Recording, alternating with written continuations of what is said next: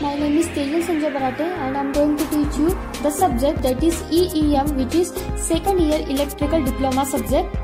EEM means electronic and electrical measurement which having source code that is 22325. Please watch the video. If any problem then please ask. Welcome to fourth lecture of chapter number 1 that is fundamentals of measurement. So we already covered the syllabus point that is measurement and instruments.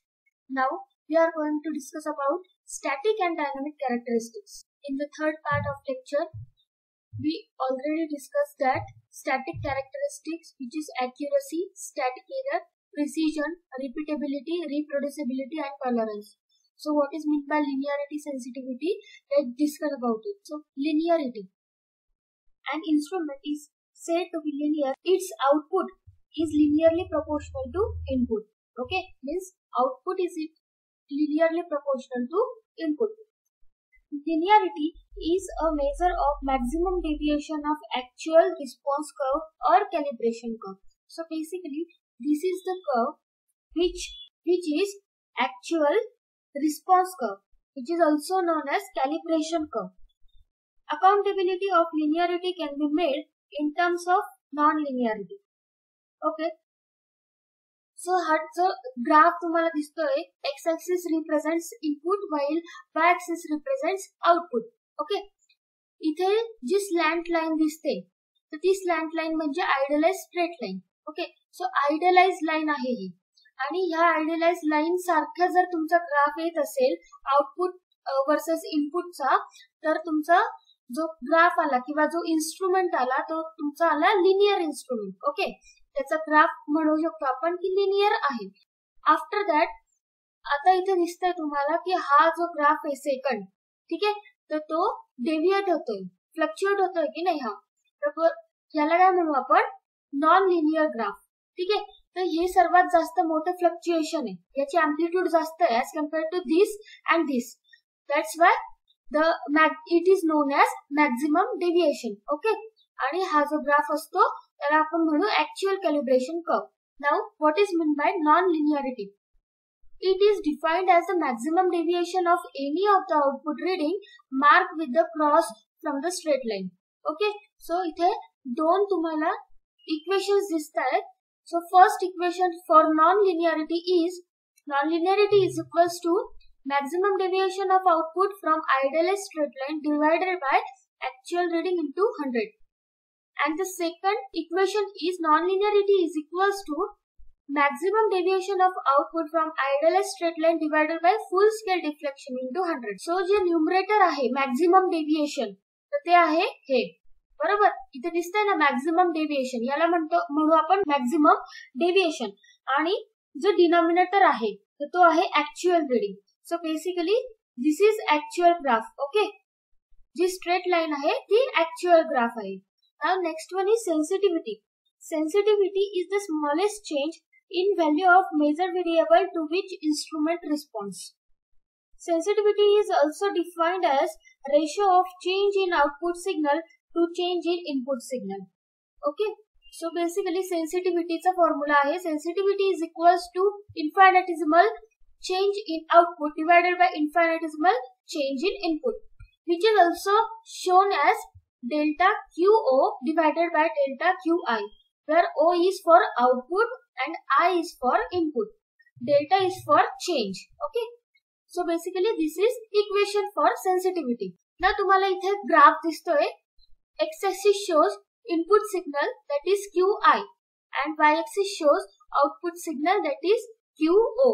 Okay. So point 1 to point 2 म्हणजे काय झालं change झाला कशात change झाला? तर बघा X axis वर input signal आहे. म्हणजे इनपुटमध्ये चेंज झाला from one to two similarly in Y axis there is one to two that is change झाला. ठीक आहे? वाय ऍक्सिस वर चेंज झाला एक्स ऍक्सिस वर चेंज झाला. आणि ही आहे तुमची स्लॅन्ट लाईन स्लॅन्ट लाईनला आपण काय म्हटलेलं होतं? Idealise straight line okay so जेव्हा चेंज होतो इनपुटमध्ये आणि आउटपुटमध्ये तर ते स्लॅन्ट लाईन वर आपण अशा पद्धतीने मार्क केलेलं आहे. ठीक आहे? तर मग हा जो चेंज झाला एक्स ऍक्सिसचा चेंज आणि वाय ऍक्सिसचा चेंज तर याला काय म्हणू आपण?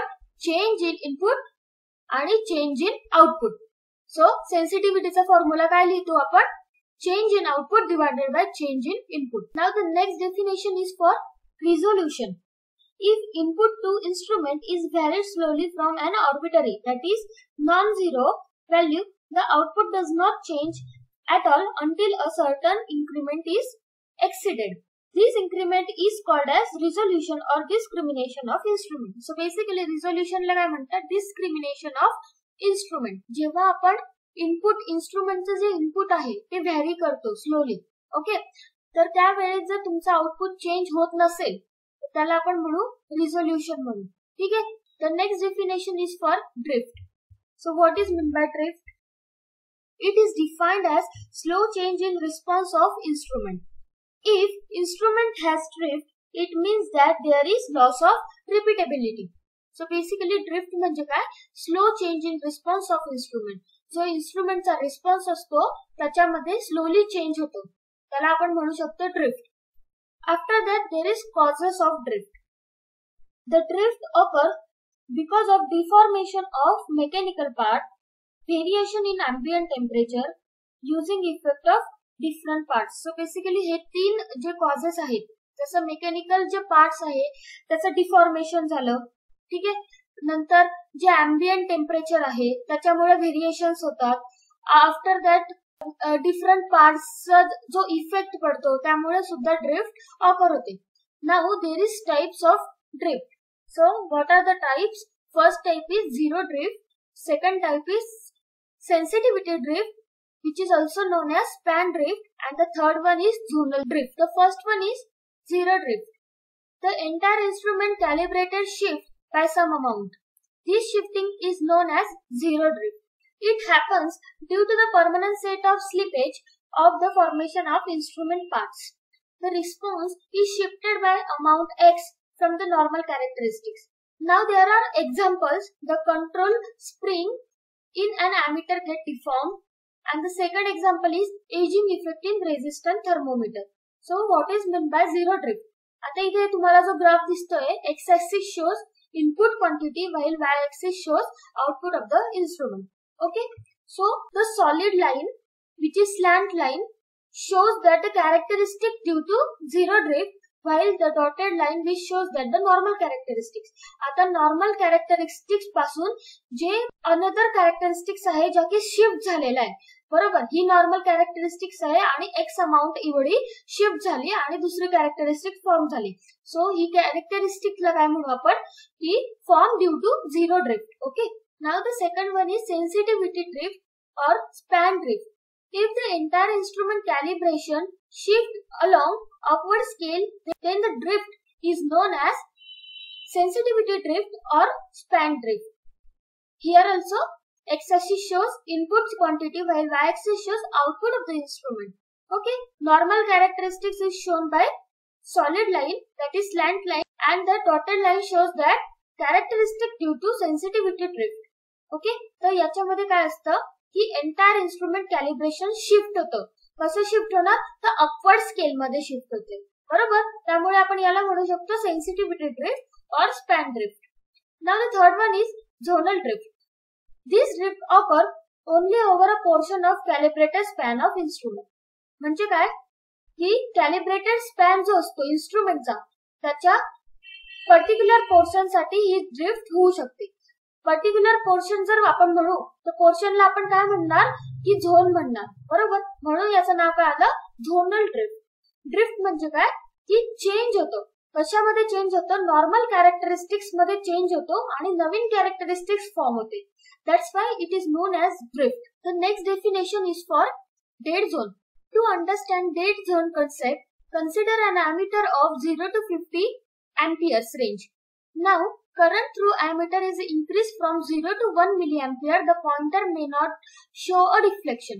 Okay sir तुमचं जे ॲमीटर असेल ते झिरो आणि पन्नास म्हणजे झिरो टू फिफ्टी अशी रेंज असेल जर त्या ॲमीटरची आणि जर तुम्ही करंट इन्क्रीज करताय in the range of zero to one milliampere आता ही स्केल आहे तुमची अँपियरची आणि आपण चेंज करतोय फक्त मिली अँपियरचा म्हणजे टेन रेस टू मायनस थ्रीचा बरोबर. Ten raise to minus three म्हणजे खूप जास्त कमी अमाऊंट आहे. आणि आपल्याला स्केल खूप जास्त मोठ्या अमाऊंटची तर तुम्हाला तुमचा पॉइंटर जो आहे तो डिफ्लेक्शन दाखवेल का अशा वेळेस? तर नाही दाखवणार. ना next point is if the current is further increase to such a value that the pointer just deflect we can say the dead zone is cross जर आपण अशी व्हॅल्यू जर इन्क्रीज केली म्हणजे जी करंटची व्हॅल्यू आपण झिरो टू वन करतोय ती इन्क्रीज केली ठीक आहे? जोपर्यंत जो पॉइंटर आहे अॅमीटरचा तो डिफ्लेक्ट होत नाही तोपर्यंत आपण जे अॅमीटरची रेंज आहे किंवा जो करंट आहे तो इन्क्रीज केला. आणि एकदा का अॅमीटरचा जो पॉइंटर आहे तो डिफ्लेक्ट झाला तर आपण त्याला काय म्हणू शकतो? डेड झोन म्हणू शकतो. ठीक आहे? Next point is within the dead zone the ammeter pointer does not deflect म्हणजे जो डेड झोन आहे डेड म्हणजे काय? की जेव्हा निष्क्रिय असतं. कोण निष्क्रिय असणार आहे ह्या कंडिशनमध्ये? तर पॉइंटर निष्क्रिय असेल. म्हणजे पॉइंटर हलणार नाही डिफ्लेक्ट करणार नाही. तर ज्या वेळेस पॉइंटर डिफ्लेक्ट नाही करत तर त्या रेंजमध्ये त्याला काय म्हणू आपण? डेड झोन म्हणू. Input value of the measure variable to which the instrument does not respond म्हणजे अशा वेळेस जेव्हा इनपुट व्हॅल्यू जी आहे ती चेंज केली तरी सुद्धा जर अॅमीटरचा पॉइंटर डिफ्लेक्ट करत नसेल तर त्याला काय म्हणू आपण? डेड झोन म्हणून. After that dead zone occurs because of the friction and inertia so basically dead zone कशामुळे ऑकर होतो? तर फ्रिक्शन आणि इनर्शियामुळे now the next definition is for span span is equals to X max minus X min max म्हणजे maximum value while min म्हणजे minimum value where X max is maximum reading of instrument for which it is calibrated आणि X minimum म्हणजे it is a minimum reading of instrument for which it is calibrated now हे तुम्हाला examples दिलेले आता example number one कोणतं आहे and ammeter is calibrated and it is rated for 0 to 10 ampere. Therefore, range is equals to 10 ampere and span is also 10 ampere. Now the second one is thermometer is calibrated to measure temperature between 100 degrees Celsius to 250 degrees Celsius. Therefore, range is 250 degree Celsius while span is 250 minus 100 is equals to 150 degree Celsius. म्हणजे काय? आता बघा इथे ही 100 जी आहे ती smallest value आहे आणि to fifty जी आहे ती मॅक्झिमम व्हॅल्यू आहे. म्हणजे टू फिफ्टी काय आला तुमचा? एक्स मॅक्स आला आणि हंड्रेड काय आला एक्स मिनिमम आला.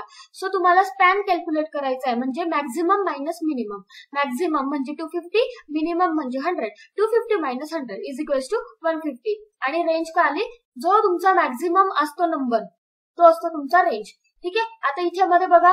हिच्यामध्ये झिरो म्हणजे मिनिमम व्हॅल्यू आहे. टेन म्हणजे मॅक्झिमम व्हॅल्यू आहे. त्यामुळे स्पॅन म्हणजे काय आला मॅक्झिमम मायनस मिनिमम म्हणजे ten minus zero is equals to काय? तर टेन एम्पियर ठीक आहे? आणि रेंज काय असते? जो मॅक्झिमम व्हॅल्यू असते. ठीक आहे? हिच्यात टेन आहे आणि सेकंड एक्झाम्पलमध्ये टू फिफ्टी आहे. सो रेंज तुमची काय आली? जी मॅक्झिमम व्हॅल्यू असते ती रेंज आली. आणि स्पॅन काय आला? तर डिफरन्स असतो. Now the second definition is scale range it is the difference between the largest and the smallest reading of instrument the calibration is continuous over the whole range of instrument basically जे calibration आहे ते continuous स्वरूपात असेल. Generally, the range is specified as follows.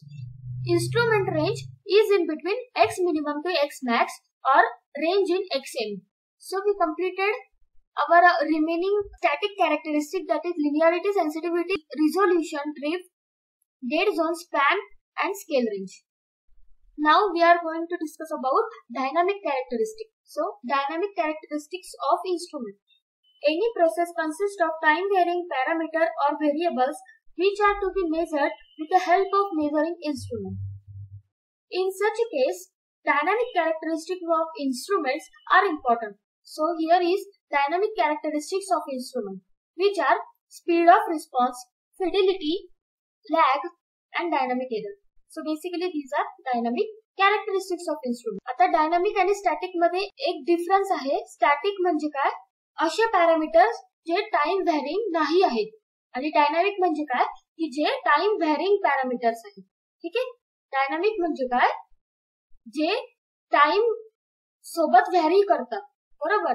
जसं time vary होतं तसं parameter जर vary होत असतील तर त्याला आपण म्हणू डायनामिक कॅरेक्टरिस्टिक्स म्हणू. ना the first one is speed of response it is the rapidity with which instrument respond to change in the measure quantity म्हणजे समजा मला करंट मोजायचा आहे. करंट मेजर करायचा आहे. आणि मी अॅमीटर घेतलेलं आहे. तर जेव्हा करंट आपण इनपुट प्रोव्हाइड करू मीटरला त्यावेळेस किती टाइममध्ये तो रिस्पॉन्स करेल? किती टाइममध्ये पॉइंटर डिफ्लेक्ट करेल? तर हे झालं तुमचं काय? Speed of response after that fidelity it is a degree with which instrument indicates change in measure value without dynamic error फिडिलिटीला आपण काय म्हणू शकतो? एक्झॅक्टनेस ठीक आहे? म्हणजे एक्झॅक्ट अशी व्हॅल्यू आता कसली एक्झॅक्ट व्हॅल्यू राहणार आहे? की चेंज जो मेजर व्हॅल्यूचा चेंज असेल सो तो चेंज तो कसा असला पाहिजे? विदाउट डायनामिक एररचा असला पाहिजे. आणि त्या कॅरेक्टरिस्टिकला आपण काय म्हणू? तर फेडेलिटी म्हणू.